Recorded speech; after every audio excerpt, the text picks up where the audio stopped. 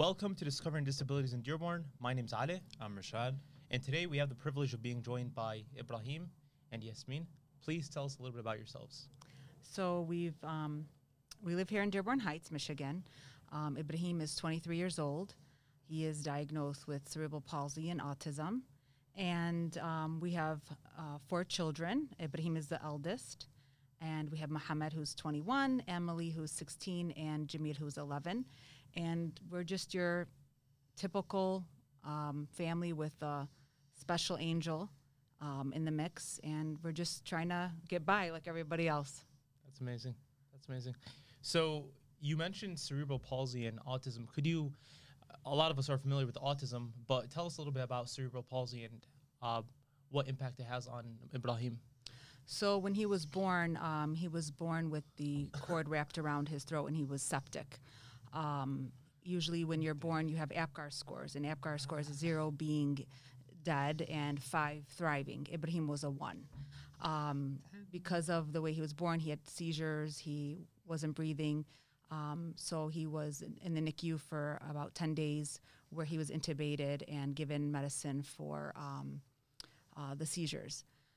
So, due to the traumatic birth he had um, when he was about 11 months old, he was diagnosed with cerebral palsy. And um, years after that, um, when he was almost three, I noticed some oddities of things he was doing, and I asked for him to be tested for autism as well. So this diagnosis didn't happen right after the birth. So you said at 11 months, it, it basically took 11 months to officially diagnose him with cerebral palsy. Right, because he was everything was delayed. So he would he would sit up, but it was delayed. He would um, flip over, but it was delayed. Um, so we knew something was going on, but no one was willing to diagnose him at that time. Um, not till he was 11 months old, and I got a second opinion where they said, um, in order for him to get the services he needs, we need to label him with cerebral palsy. Okay. All right. And Ibrahim, you're on camera. Could you say hi to our viewers? Hi, viewers. Okay. Awesome. Awesome. So, how was it like in school for Ibrahim early on, in the early stages of his diagnosis and uh, and his life, going going through school and meeting new friends? So in the beginning, when I went, when he was three, they started sending him to school, and I, I went to visit, and I'm like, oh my God, there's no way Ibrahim's gonna sit still like these kids, and I was so scared of how he was going to behave or if he'd be able to handle it. But um, he went in like a champ. He's very, as you can see, social, very friendly. Um, he was in a POHI program that was for kids with cerebral palsy, um, and then. Um, he did really well. He was he's very polite. Everybody loved him. He's very social. He loves to be with people. He loves to talk to people. So he kind of just I think I I usually have the harder time with these things. I think the parent usually does, and I think the kids do a lot better than we expect most of the time. Um, so every time he's transitioned, you know, I would have anxiety about it and so worried, but he's done amazingly. Do you think him being social contributed to you starting that, you know, the TikTok uh, channel and and you know going viral? Um, yeah, you know, it all happened by accident, to be honest with you. Um, during COVID, um, I was bored and I kept hearing about TikTok and TikTok, and um, there's only so much baking and cooking you can do during COVID, right? So I downloaded it and um, I put up, he's always had a fan base. So he's always had my friends or my cousins. He's always had a fan base, like on my Snapchat and stuff like that. So I just posted one of his videos, just like, just like that. I didn't think anything was going to happen with it, and it just it went viral. And then another one went viral. What was the video? Do you remember that first? the first one that went viral was when um, so he used to wait for our neighbor's daughter to get off the bus and he would ride his tricycle and walk her home after school and he was waiting for her so that's it that's it's my ver- my language that I used because I said he was stalking her but I didn't mean that I just I'm a very sarcastic person I didn't think people were gonna pick up on it you know social media is very um, I learned very hard, you know, um, because you have to be very careful about what you say, how you say it. And I, I said he was stalking the neighbor's daughter, but we're actually very good friends with them. Um, Ibrahim loves their family and they love him. So he would wait for Layla um, off the bus and he would walk her to the extent he's allowed to ride his bike. and um, that's how, so that went viral. And then the next one went was there was a TikTok challenge where you're sitting next to somebody and you kind of hit them with stuff until someone says something. So my sister-in-law did that with him, and he's so in love with her he would never say anything to her so everybody you know that was very controversial because you know this young pretty girl is like hitting him in the head with you know her bag and stuff but so it just it was like a whirlwind honestly it just happened on its own How does Ibrahim feel about his social media presence? Um, he loves watching his own TikToks. Um, I think he's his biggest fan. Um, and what's really cool is like wherever we go, people know who we are, or him especially. So we get stopped all the time, whether it's in Target or Kroger um, or the mall, and um, they uh, stop him, and he loves it. He talks to them, but he doesn't understand. I don't think he understands fully um, that he's famous. When you say he doesn't understand fully, what what things does Ibrahim understand when it comes to social interactions and just being around people? Um, Ibrahim is very self motivated. That's one word I would use to describe him. If it's about him, he's all about it. If it's about his routine, um, something that he wants, he's very self motivated. He loves attention. Um, he loves talking to people, especially you know beautiful young ladies. He's definitely a ladies' man. Um, and you know, if he sees somebody he likes, he starts up with the compliments. He starts, you know, complimenting their rings or their. Sweet talker. oh, he's big time, big time, and um, so he, but he just loves being with people and people watching, and um, it just, it, it's his personality just radiates. I really believe he just radiates uh, attention. I want to go back to the diagnosis of autism. Uh, when you said he was three years old, you ended up seeing some signs. Tell us a little bit about those signs that you saw and what was your motivation to to uh, you know see him uh, see a doctor after that. So um, originally he started like flicking the lights on and off in the house and just on off on off, and then um, he would you know watch the door being opened and closed. He just was fascinated with things that were kind of odd, um, and uh, autism was it was there, but it wasn't as um, prevalent now. It wasn't talked about as much.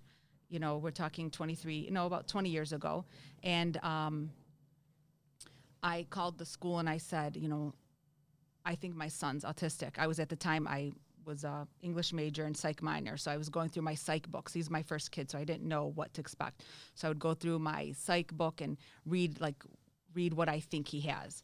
And um, at that time, that's I had him evaluated by Children's Hospital and the school, and um, they both evaluated him. And the hospital says we're not confident to label him as aut- autistic because of his cerebral palsy, because that you know would interfere with the testing.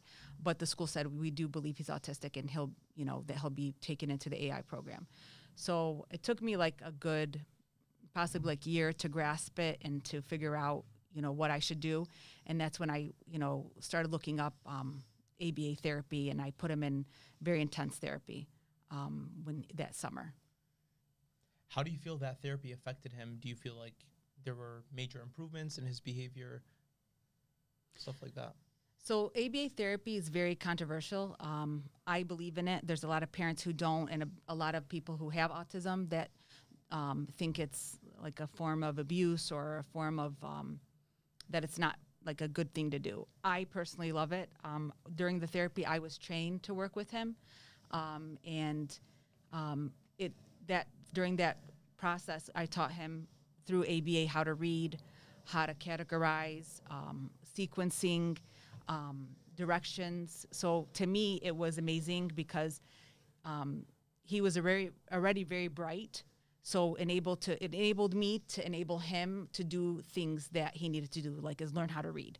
So to me, I believe it was beneficial. He even did it when he hit. Um, we did it for years, and then um, he went back in about 18 years old, and we did it some more, like to do more life skills, like how to shower himself. Um, we're doing money. Uh, we were doing um, being out in public. You know, if he needs help, how to recognize like hospital signs, stuff that you know, because our our kids don't learn like the typical children, and ABA really gives you a way to teach them. I believe. He's learned some of those skills in schools, in the school too. They uh, he's done sewing, you know, he's done cleaning. Yes, Does he ever bring those home and, and practice them at home? or- Absolutely not. He does not clean at home. he tells me at school, I wipe tables, I wipe chairs, I swept. I'm like, you don't even pick up your dish after dinner. Um, but you know, he does. I give him t- tasks at home to do, like pick up laundry baskets, take it, put away some of his clothes, stuff like that. Um, of course, you know, kids are always better at school, right? They're always on task, and I think because school's so so routine oriented, that that's why he thrives in it. Because there's a, a a list of what he has to do, what time it is, and he does really well with that. Ibrahim, did you go outside today? It was Yeah. good weather. You did? Yeah, Nice. Awesome. What'd you do outside? play outside. Played outside? Yeah, Awesome. What do you like to play outside, Ibrahim? the football. Football? You do? Yeah, Oh, really? Who do you play with? You play with your brothers and sisters? yeah, Sister? Yeah. And I played mom's phone. You play with mom's phone?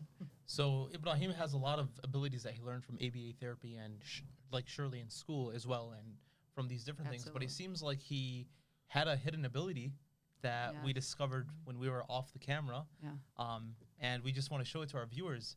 So Ibrahim, we're gonna give you a date, and you have to tell us what date that is. Okay? So let's start with my birthday, April April thirtieth. What day is that? Sunday. Okay, amazing. Rashad, you want to test him? What about my birthday, December 3rd? Sunday. Amazing, amazing. That's that's remarkable. What about July 4th? Tuesday. Awesome. I, I know people who practice that stuff. Uh, the guy behind, uh, the guy managing our camera work, actually, you know, learned how to do that mathematically. So for him to know that, Yeah, you know. people ask me how does he do it. I don't know if he memorizes the calendar or if he figures the days and of what day it was last year and adds a day each year. I, I don't know. I mean, a lot of times um, people who are autistic have like a special talent or ability, and I he has a great memorization. He's like a sometimes he's like a live and GPS. And the tech. Right? so he's really good with directions as Oh well. yeah. Oh yeah. I gotta He take could him on my car, car rides one Yes. as well. That would be He, very he could take you from here to my parents' and house in Cleveland. And Oh, tech- Bismillah. I have a question. So, um, I've noticed from you know the several videos on social media that he's very like good with spatial awareness and how to use his body. A lot of people, you know, I, I see a lot of comments saying like he could be shaky at times and things like that. But I, I watched a few videos where he was like eating, for example. He knows exactly where he wants to go. Uh, you know, like the fork, perfect.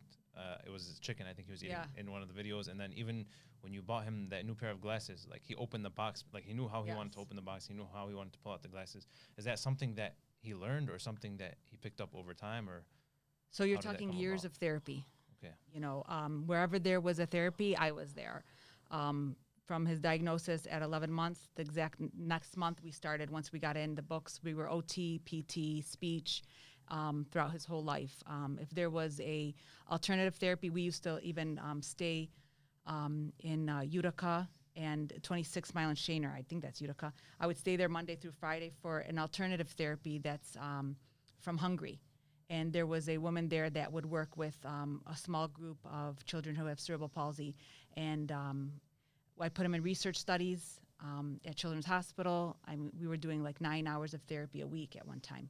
So wherever there was a will, there was a way for me. I, I worked really hard um, with everything because I just didn't want to leave a stone unturned.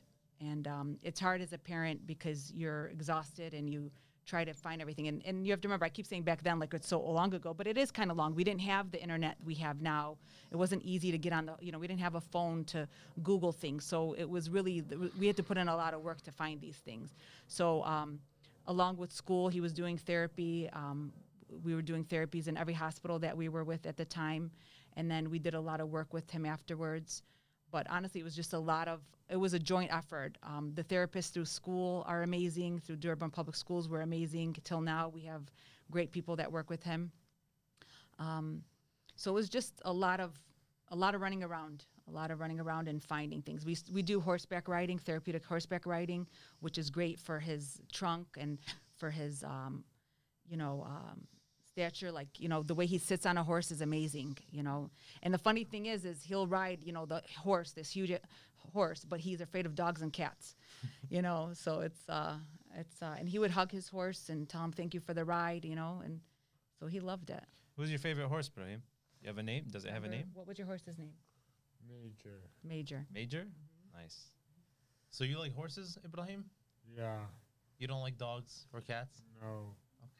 Okay. Are you good at riding horses? Yeah. You gotta teach me. Can you teach me? And give, give. Giddy a good mama. So you're clearly very involved as, as his mom, and you know, running around, putting him in research studies, all of that. So it seems like it's shaped your your family dynamics. How has it affected his siblings um, and just the family as a whole?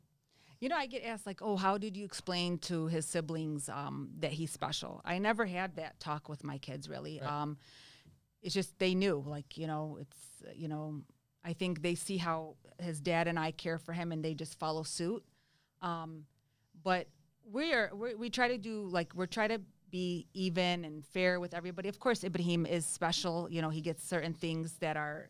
Um, you know, it's not the same, you know, direct the way we talk to our other kids or the way we deal with the other children, but um, we treat him normal, you know, like he annoys the heck out of his siblings and the siblings annoy the heck out of him. So it's, that's what I think people like loved our page because I just uh, posting organic things, things that are happening, you know, him and his brother, his 21 year old brother, you know, uh, wrestling, uh, taking each other's clothes, uh, so it's all like you know the typical thing we don't uh, like let it be a difference really um, does it affect us? Yeah because sometimes you know ibrahim wants something the other kids don't want to do. If we're picking dinner we have to kind of go where he wants to go. Um, uh, if if there's something written in the calendar that you know we have to cancel it's very sometimes very upsetting for him. So you know affects all of us and, and the kids take it in stride. Um, they do well with it and they know how to handle him for the most part. But it's not all roses right? I mean there's times that he has temper tantrums. Um, of course i'd never post that. Um, and that's scary right? I mean he's six foot almost six foot two six foot three and he can take any of us down if he wanted. Um, so it, it is difficult and the kids know to be sure you know to stay out of his way when he's upset you know? So it's hard but they don't know any different right? Because this is in our life and we try to work with it and, and do what we can to make everybody happy and we do my husband and i always try to do special things with each child. We travel with each one individually. We have our like you know my daughter and i have our lunch and mall dates and we travel alone. Ibrahim and i did a turkey trip together.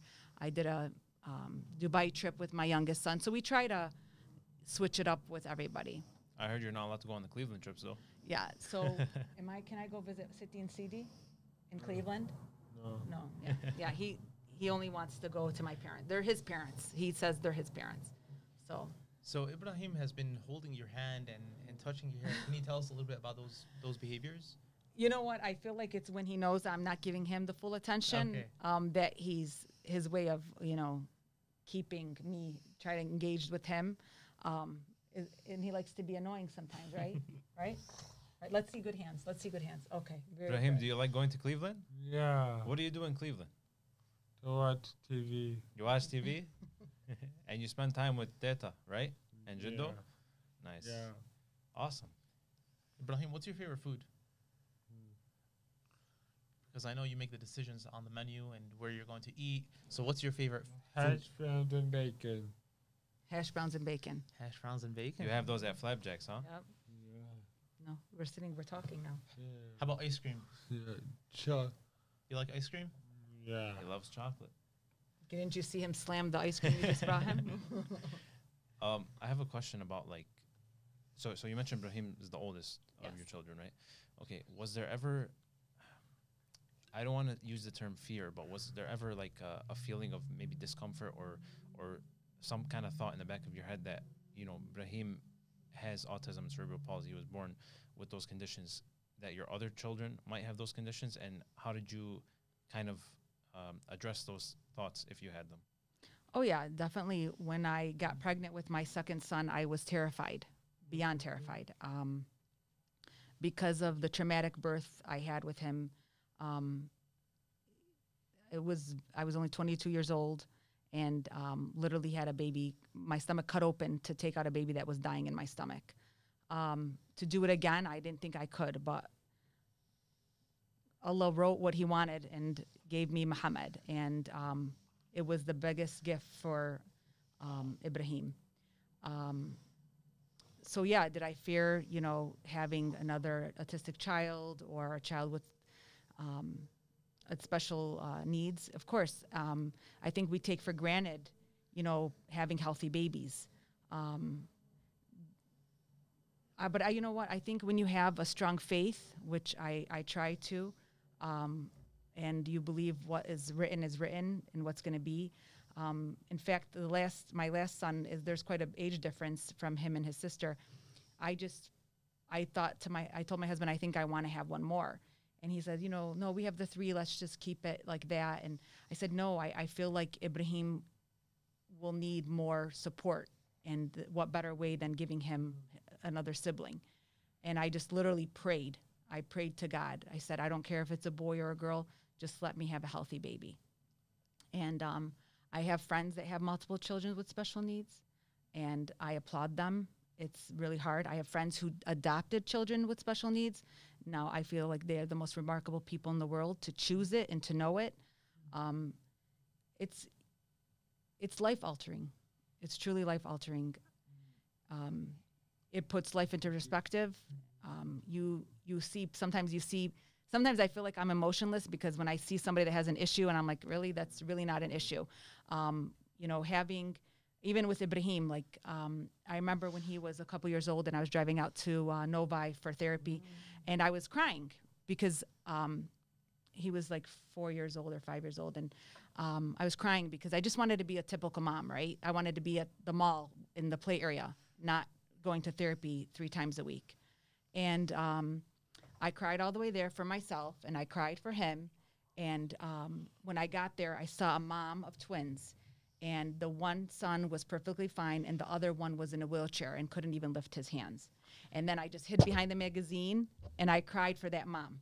And I said, "Wow!" I said, "Thank God, Alhamdulillah, Alhamdulillah, that um, I have what I have, and Allah gave me what He gave me."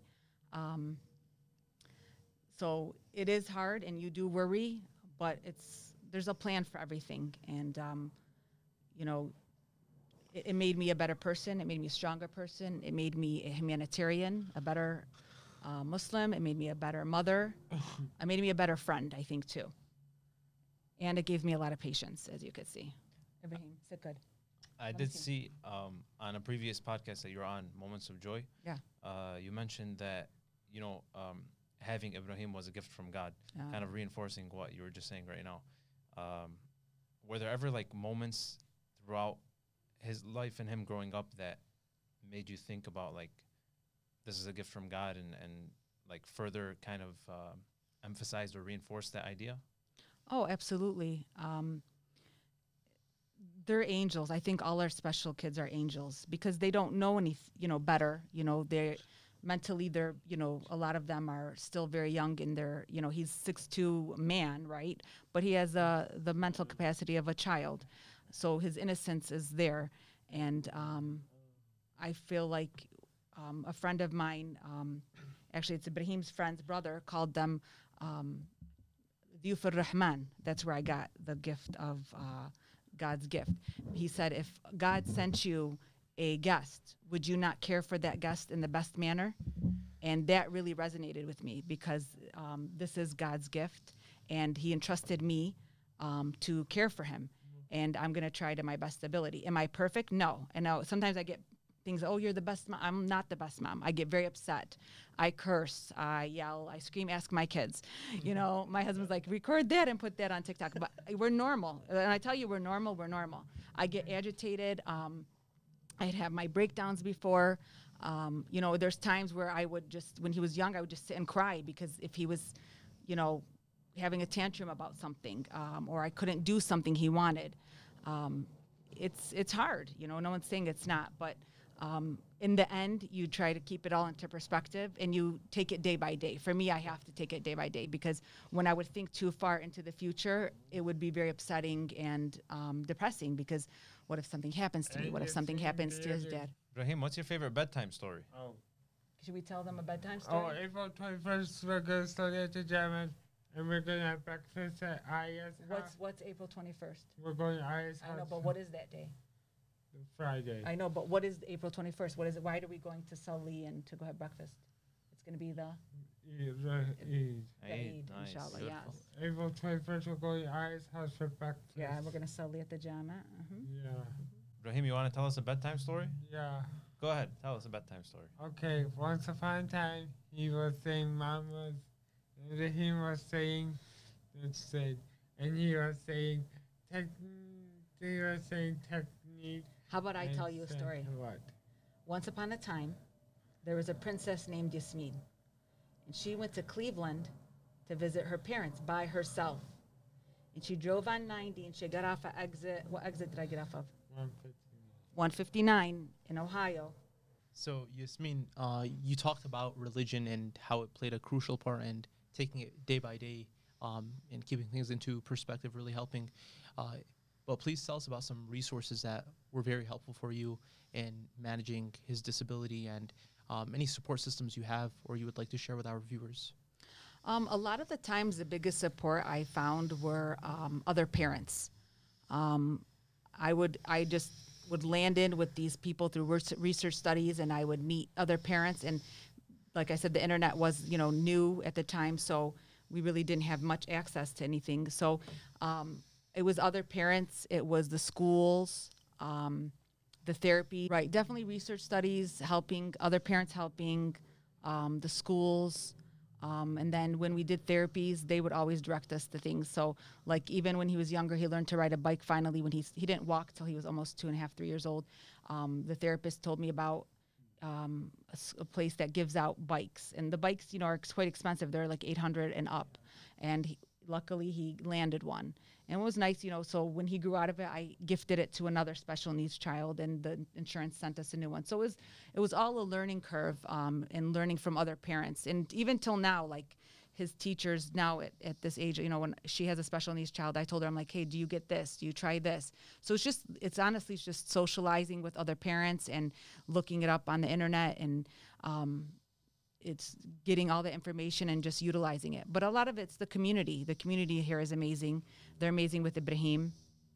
They become more accepting and I mean we still get looks, right? Because he's sometimes he'll cover his ears and um, mumble and you know rock and stuff like that. But the communities, I think the communities come a long way of um, accepting um, special needs, and he's he makes friends everywhere he goes.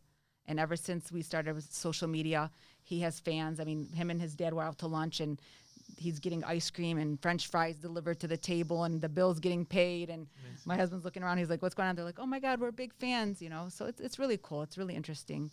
Yeah, you also definitely have a unique spot in our community regarding having a child with a disability because of that support system and from from your you know fan base. So uh, that must that must have helped.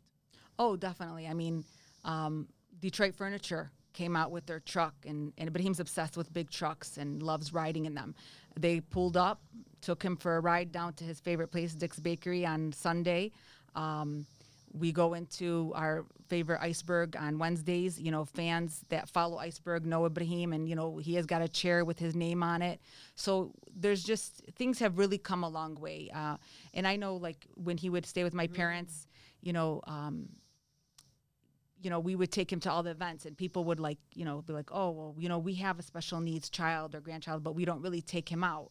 And you know, when they seen us starting to do it, I think it opened um, the eyes to the community um, to, you know, bring out their children with special needs. And unfortunately, like Arabs, we shy away from it. It's looked maybe down upon, but uh, I've only like had one time someone asked me like, "Why is your son like this?" And she asked me in Arabic, and it was at Fairlane Mall when they had that play area, but he was very young and didn't walk yet, or he didn't even crawl yet. He commando crawled, and I said, "That's the way God made him." And my friend wanted to like fight her. I said, "Don't fight her." I said, "You know, sometimes people are just not educated. They don't know better. So I rather show them in a nice way, you know, um, that you know it's okay to ask. It's okay um, to say, come up to me and say something. That's very beautiful and really powerful. That you know you're on that opposite side of the spectrum where there are people with children with disabilities who trap them at home, don't let them go outside.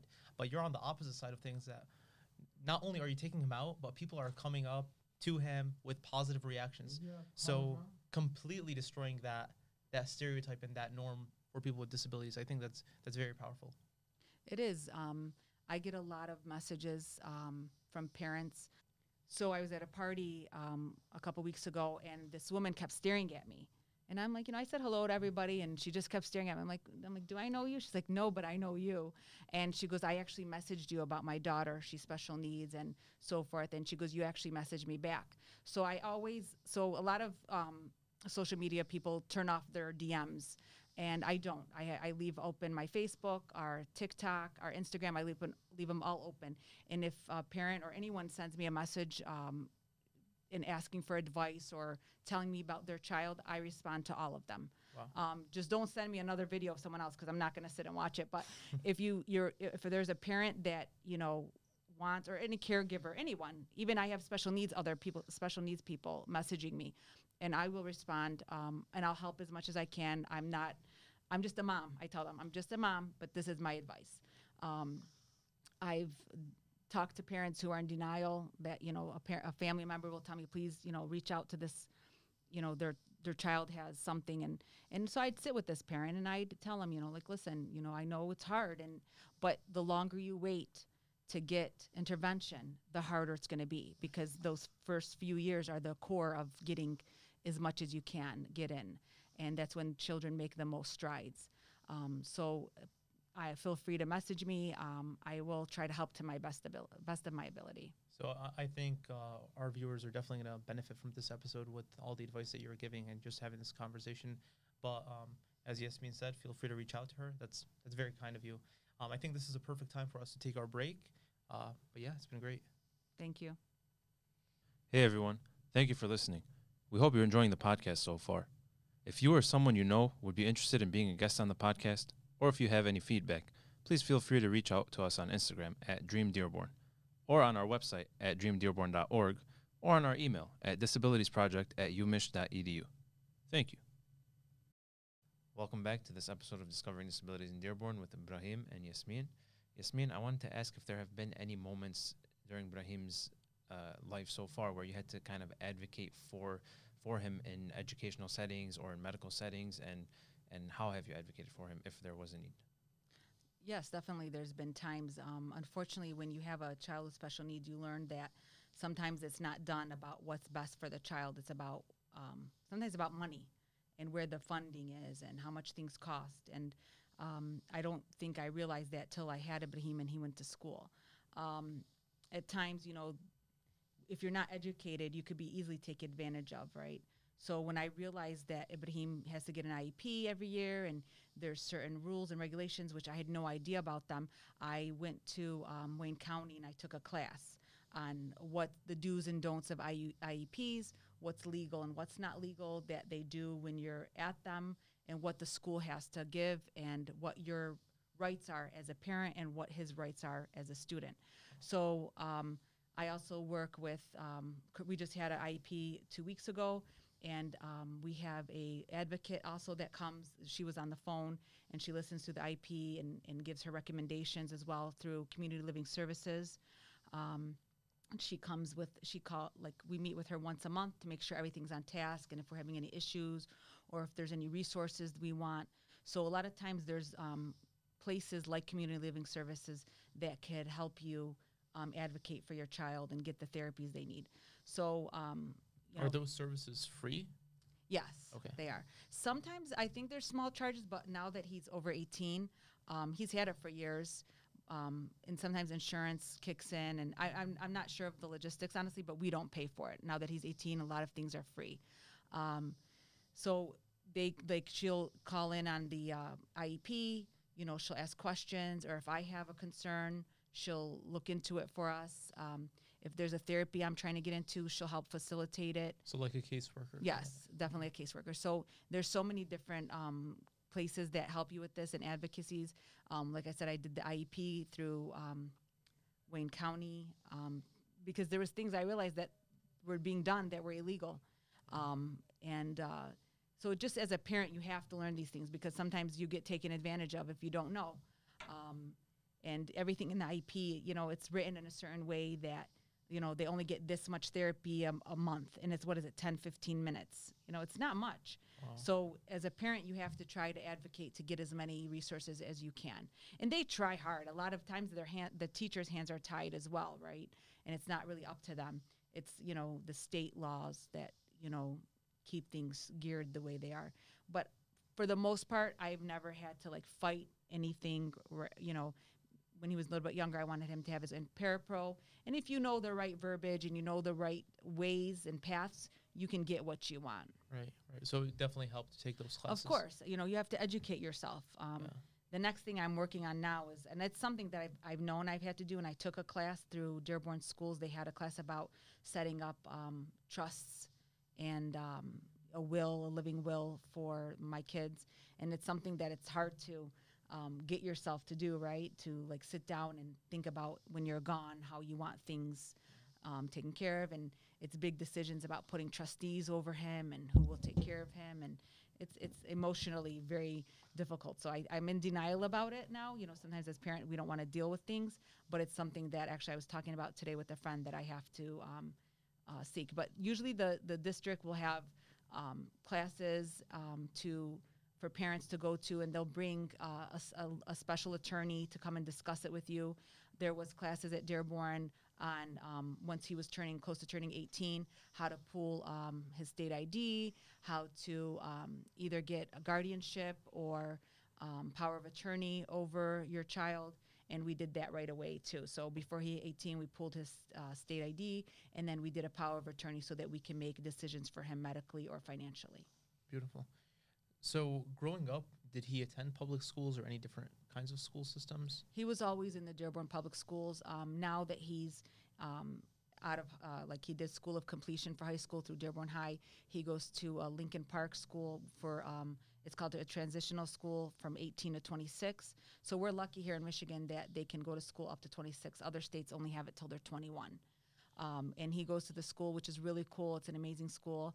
They have a resale shop in the school that the kids run, and like he prices things, he hangs them.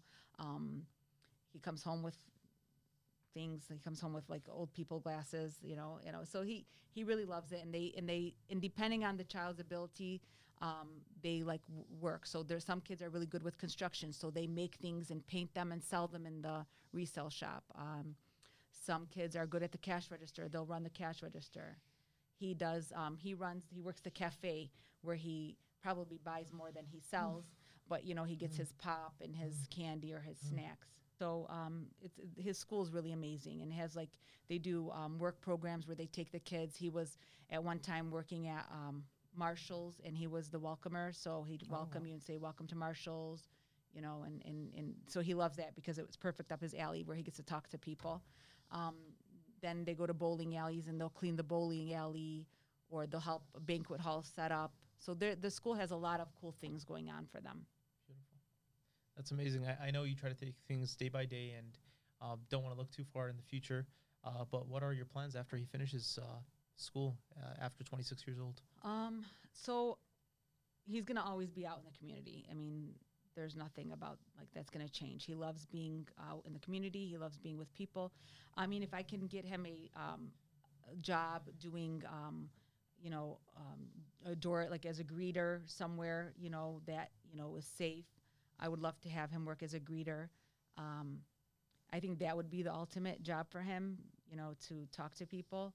Um, and he could do like tasks. So at Dearborn High, even, you know, they had a program, the PACE program, where they would have jobs and they had steps that the kids would do. And he did well with certain things, but he's only capable of doing so many steps before he gets um, kind of bored um, and he's over it. So uh, it'd have to be something socially where he's socially interacting. I'm not sure exactly where he'll end, end up, but somewhere I hope that he likes being and somewhere it's going to be fun for him. So he's on the phone right now. Uh, Ibrahim, what are you watching on the phone? April 30th, highest shower. Oh, nice. He's looking at my calendar. April 30th. April, April 30th, highest shower. It is.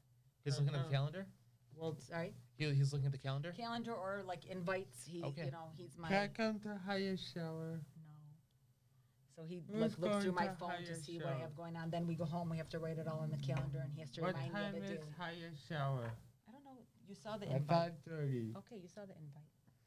You can do something with the boys while they're at the shower. Yeah. You wanna? What do you want to do when I'm at the shower? To watch the engineer. Oh, you're gonna. He so he acts like he's gonna take care of people. So when I I was in Grand Rapids last weekend, he took care of his dad and his brothers while me and his sister were gone. Yeah, Good job, Rahim. You like taking care of people, huh? yeah. He takes care of his baba, right? That's nice of you, Ibrahim. It's April 30. What's his favorite activity to do, to do just like in general? I know he Um, likes to bother his siblings, waking them up, but that's a joy to him.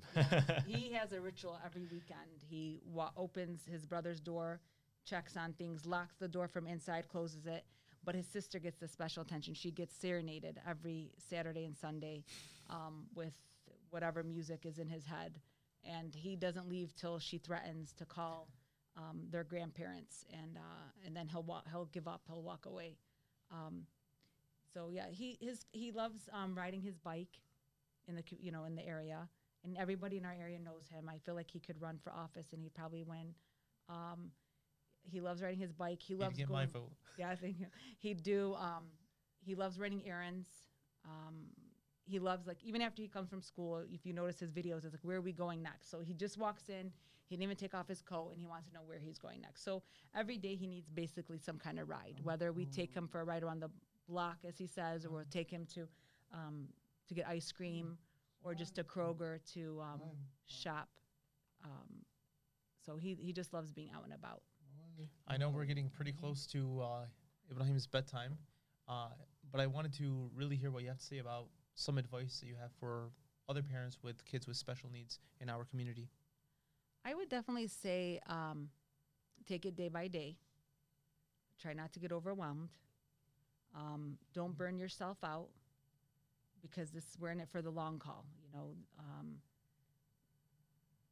it's it's exhausting mentally and physically.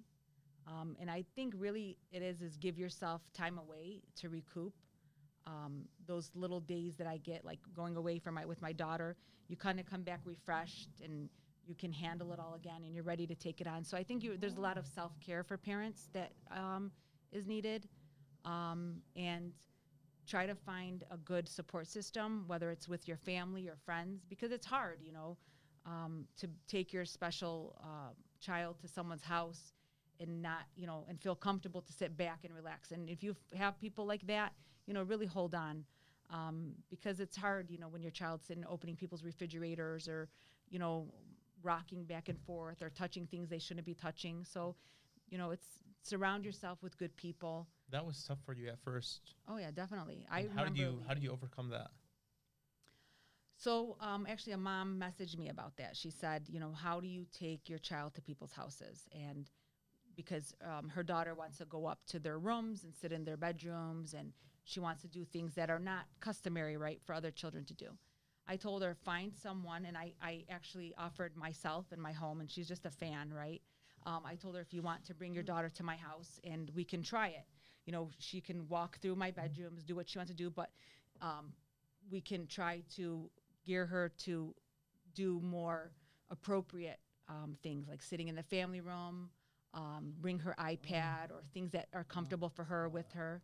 So I offered, like I said, for her to come to my house and try it out and, and see. And I've never, I've met this lady one time and we've just messaged. So it's really hard because I remember leaving my own aunt's house crying when he was very young. And, you know, my aunt got upset. She's like, no, it's fine, you know, but as a parent, you want your children to behave in a certain way. And sometimes when they're, you know, have um, disabilities, you can't control it, right?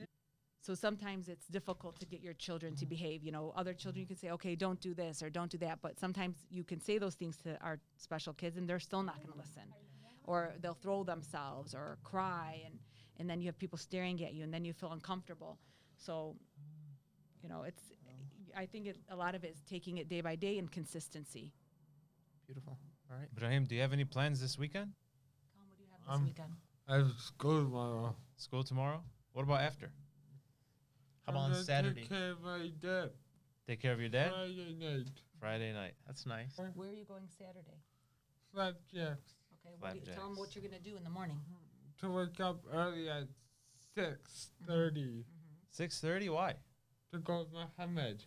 To go with Muhammad to Flapjacks? Yeah, Nice. What's your favorite food at Flapjacks? hash browns, bacon. Hash browns, bacon. Okay. Do you like ketchup with them or no? No, You don't like ketchup with them? no. So you're gonna go to Flapjack Saturday, Yeah, and then where are you going Sunday? Dick's Bakery. Oh yeah, Dick's Bakery. I'll take you. I can take you to Dick's Bakery. No, you already went. Please, I'll go with you. You're gonna be at the Salem reunion. But you can go with me to Dick's Bakery. You're gonna be at the Salem reunion. Okay. What's your favorite thing to get from Dick's Bakery? Cheese rolls out the bed for that bed. Wow. How about Iceberg? What's your favorite thing from there? Cheese sticks of grilled chicken and fries. Cheese sticks, grilled chicken, and fries. Inshallah, we can have that. sounds good. Uh-huh. Yeah. Actually, that's not even on the menu. That's special for him. Wow. My mouth is watering already. The chicken isn't, but the. What? Special what- privileges. So, do you want the guys to meet us at Iceberg on, on Wednesday, Yeah, and we can have dinner together? yeah. Sounds good. So, uh, does anybody have any final questions? Any what questions? question do you have, Brahim? You have any questions for us? Yeah, What would you like to ask us, Ibrahim? I'm going to Cleveland April 29th. April 29, you're going to Cleveland? Yeah, What day Nice. is that? Saturday. Okay. You guys usually drive to Cleveland in the Yeah, car? it's like a you go. two, two and a half, two hour and 15 minute drive. Are you Yeah. going? It's easy. So, if there are no more questions, uh, I guess we'll take it to our dream segment now. Okay. Uh, the dream segment we ask at the end of every podcast. Uh, it could be about anything, doesn't have to be related to disabilities, but also it can be, of course. Uh, it's just in general, what is your dream about anything? Your future outlook? While you think of that, I wanted to tell our viewers, um, in light of the conversation about religion and how it um, helped Yasmeen, we do have an episode dedicated to uh, supporting individuals with disabilities um, through um, a religious perspective. So please feel free to go back to our earlier episodes um, and listen to that uh, episode. It was very informative. in season one? Season one. So I would say personally, my dream when it comes to my family is that Ibrahim is successful in life, and that most importantly, that he's happy. Um, I pray that my kids, all of them, live a good Islamic life and are successful in whatever they choose. And of course, the most important thing is everyone's healthy. Um, I try to be very realistic. I try not to um, dream certain things because sometimes you get heartbroken by them. So the basics are health for me and happiness. And I want that for my family and for everyone. Um, and also like to not have those anxieties and stresses of, of typical life or even having a life with a special needs child. Um, our life is wrapped around Ibrahim and of course all our children, but you know, they're all growing and going to their own path. And, you know, when my husband and I think about our future, it's always including Ibrahim and how he will always be with us, if God willing, that we are able to care for him and that we're on this earth. Um, so I feel like my other kids will be okay, God willing, and just as long as um, Ibrahim is happy, you know, I just always remember the day my husband, when they diagnosed Ibrahim with cerebral palsy, and I, I literally fell to the floor and I cried um, because of that name, cerebral palsy. Um, and he said, it doesn't change anything. Ibrahim is still Ibrahim. And as long as he's happy and he's thriving, that's all that matters. And that's how I feel like I view things. As long as he's happy, and if something simple is taking him, you know, on Wednesdays to Iceberg and Saturdays to Flapjacks and Sundays the bakery, you know, or taking a ride in the Detroit furniture truck, if those things make him happy and I'm able to facilitate it, then I'm going to try to do that. Because when he's happy, I'm happy. And um, when he's content, I think you have a content as a parent in your heart. As long as your children are okay and healthy, I think that's the main issue, and that you're healthy. That's You've been doing a tremendous job making sure that he stays happy, and of course that you guys are happy as well. Uh, and so, um, inshallah, you know your dreams become reality. Uh, I'm uh, based off what you were saying. A lot of them, in my opinion, have become reality, and hopefully they continue to be a reality. Yeah. So, in light of that, I'll ask uh, Ibrahim one last question. Ibrahim, are you happy? Yeah. And I think you're doing an amazing job, Yasmeen. Thank you. Thank you guys for having us. Yeah, it's a, it's been a pleasure. So thank you everyone for watching. Thank you uh, our viewers. Uh, please don't forget to like, comment, subscribe, share with your friends and family, and uh, we'll see you on the next one.